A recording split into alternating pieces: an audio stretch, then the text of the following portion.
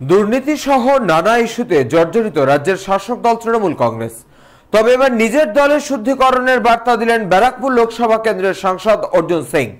জগদ্দল বিধানসভার অন্তর্গত শ্যামনগর এলাকায় একটি অনুষ্ঠানে উপস্থিত হয়ে সাংসদ বলেন, কোনো নাক কাটা, কান কাটা কিংবা গলা কাটাদের বুথে বসতে দেওয়া যাবে না। লোকসভা নির্বাচনের প্রাককালে সাংসদ অর্জুনের এই বক্তব্য যথেষ্ট তাৎপর্যপূর্ণ মনে করছে রাজনৈতিক মহল। সাংসদের দাবি, সভ্য, ভদ্র মা দিদিদের এবং স্বচ্ছ ভাবমূর্তির প্রাক্তন পঞ্চায়েত সদস্য কিংবা প্রাক্তন কাউন্সিলরদের বুথে বসাতে হবে। তিনি বলেন, দলের পুরনো কর্মীদের গুরুত্ব দিতে হবে। লোক বুথে বসিয়ে দিলেন আপনি? সেই লোকটা দুদিন আগে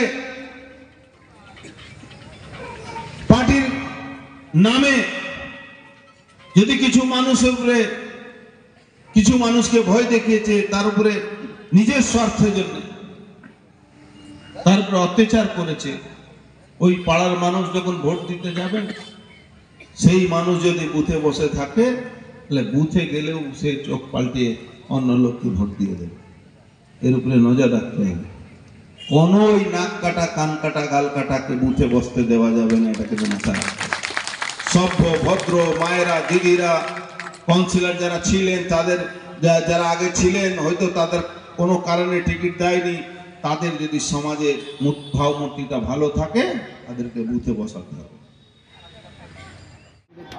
দেখুন, আমাদের দল পরিষ্কার বলে দিয়েছে যে যারা দুর্নীতি করবে, এটা দলের নির্দেশে তো তারা দুর্নীতি করেনি। ব্যক্তিগত স্তরে তারা দুর্নীতি করেছে এবং ব্যক্তিগতভাবে তারা লাভবান হয়েছে, দল তাদের পাশে থাকবে না। এটা আমাদের দল পরিষ্কার আমাদের বলে দিয়েছে। যদি কেউ ব্যক্তিগতভাবে, দেখুন, দু একজন দুর্নীতি করে যায় কিন্তু বেশি সংখ্যক লোকে কিন্তু ভালো রয়েছে। মানুষ দুর্নীতির কথাটা নিয়েই বেশি করে প্রচার করা হচ্ছে। ভালো কাজগুলোকে কিন্তু সেভাবে প্রচার করা হচ্ছে। দেখা যাচ্ছে বাসে, ট্রেনে চার দোকানে একই চর্চা। দেখুন মানুষ দুর্নীতি দুর্নীতি মুক্ত হয়ে গেছে। দুর্নীতি কেউ করে থাকলে সেটা নিয়ে তো আলোচনা হবে। যদি দুর্নীতি করে আবার ভালো কাজ হলেও আলোচনা হচ্ছে। মা- মমতা ব্যানার্জির অনেক জনমুখী কাজ আছে সেগুলো নিয়ে মানুষ ভালো সাধারণ মানুষ আমাদের পক্ষে আছে। আপনারা দেখেছেন বিগত দিনে যতগুলো নির্বাচন আছে আমরা ব্যাপকভাবে জিতেছি। দুর্নীতির ইস্যু তো আমাদের চোদ্দ সাল থেকে আমরা শুনে আসছি। কিন্তু মানুষ কি তাতে কর্ণপাত করেছে? আমাদের পক্ষেই মানুষ রায় দিয়েছে। অনেকে বলতে পারেন যে পঞ্চায়েত নির্বাচন অমুক হয়েছে পৌরসভা নির্বাচন অমুক হয়েছে, কিন্তু বিধানসভা নির্বাচন, লোকসভা ভোটে তো আমাদের আপনারা দেখেছেন যে একুশ সালে যে বিধানসভা নির্বাচন হয়েছে, সেখানে আমরা দুশো তেরোখানা সিট পেয়েছি। যারা আমাদের বিরুদ্ধে অভিযোগ করেছিল, তা সিপিএম কংগ্রেসে একটা সিট পায়নি এবং বিজেপি বলেছিল তারা দুশো পার করে যাবে, তারা সাতাত্তরে একশো তিন সংখ্যায় যেতে পারেনি। এই মানুষ এদের কথায় কান দিচ্ছে মানুষ উন্নয়নের উপরে ভোট দেয় মানুষ কাজের উপরে ভোট দেয়। যদি কেউ অন্যায় করে থাকে সেটা আইনগতভাবে তার উপরে ব্যবস্থা হবে দল তার তার দায়িত্ব নেবে না। বলছে জেলে যাবে এবং মন্ত্রিসভা নাকি জেলে বসবে? বিজেপি দাবি করছে। সেটা দেখুন এটা তো আমি বারবারই বললাম যে বিজেপি বিজেপি একটা চক্রান্ত করছে। আপনারা খুব ভালোভাবে জানেন এখনও পর্যন্ত বিচার কোনো কমপ্লিট হয়নি।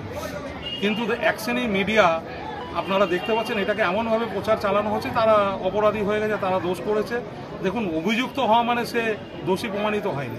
এটা মাথায় রাখতে হবে।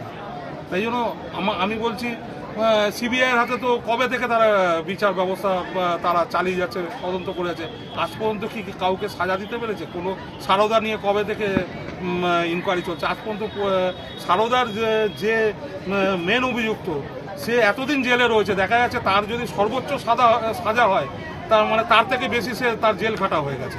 তাই জন্য সবটাই পলিটিক্যাল ব্যাপার, এটা জেনে রাখবেন, আর এর থেকে বেশি কিছু বলার নেই। শ্যামনগর থেকে Himadri Sarkar ভট্টের report, channel twenty four by seven.